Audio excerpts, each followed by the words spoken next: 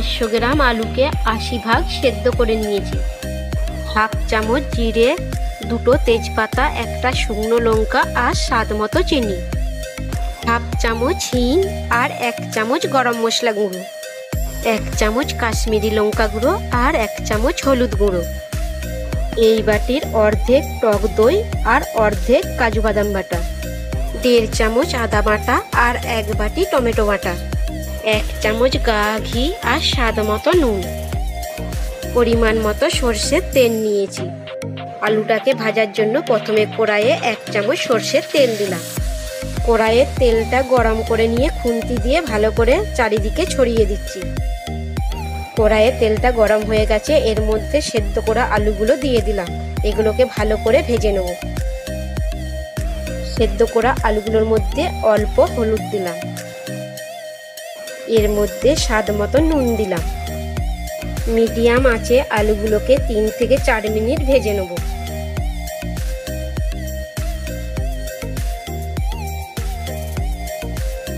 আলুগুলো ভালো করে ভাজা হয়ে গেছে, এগুলো একটা প্লেটে তুলে নিচ্ছি।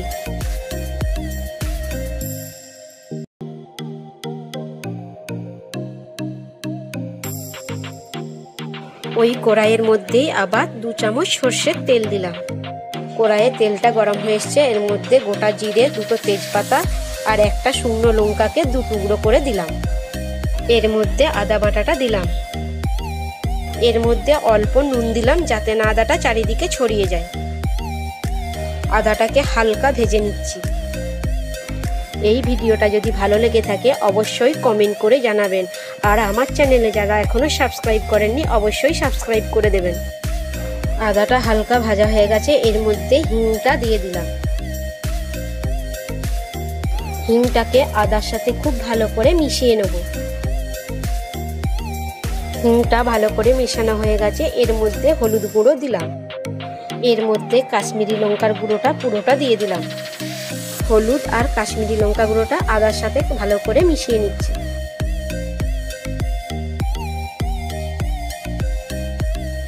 হলুদ আর কাশ্মীরি লঙ্কা গুঁড়োটা মেশানো হয়ে গেছে। এর মধ্যে টমেটো বাটাটা দিলাম। এই টমেটো বাটাটা মিডিয়াম আছে, দু থেকে তিন মিনিট কষতে থাকব।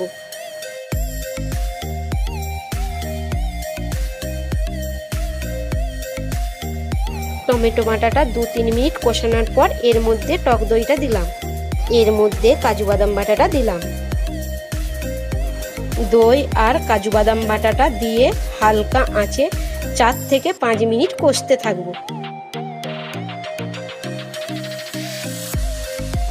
মশলাগুলো সব ভালো করে কষানো হয়ে গেছে, এর মধ্যে স্বাদ মতো নুন দিলাম। এর মধ্যে স্বাদ মতো চিনি দিলাম। এর মধ্যে ভেজে রাখা আলুগুলো দিয়ে দিলাম। মশলার সাথে আলুগুলোকে খুব ভালো করে মিশিয়ে নিচ্ছি।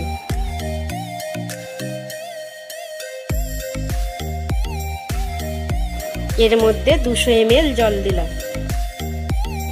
জলটা দেওয়ার পর আলু আর মশলাটাকে ভালো করে নাড়াচাড়া করে নেব। দশ মিনিটের জন্য এটাকে হালকা আঁচে ঢাকা দিয়ে রেখে দিলাম। দশ মিনিট হয়ে গেছে, এবার আমি ঢাকাটা খুলে নিচ্ছি। আলুর দমটা প্রায় আমার তৈরি করা হয়ে গেছে। এবার এর মধ্যে গাওয়া ঘিটা দিলাম। এর মধ্যে গরম মশলা গুঁড়োটা ছড়িয়ে দিলাম। ঘি আর গরম মশলাটা দিয়ে এক মিনিট নাড়াচাড়া করে নামিয়ে নেব।